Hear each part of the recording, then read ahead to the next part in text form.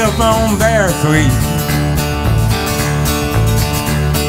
Watching the sun go down. Way up on Bear Creek. Watching the sun go down. Well, it makes me feel right.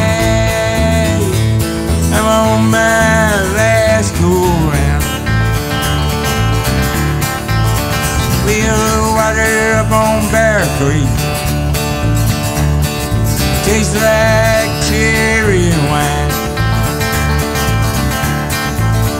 Yeah, the water up on Bear Creek.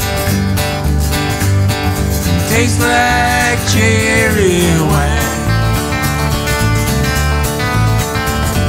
One drink of that water, stay drunk all the time.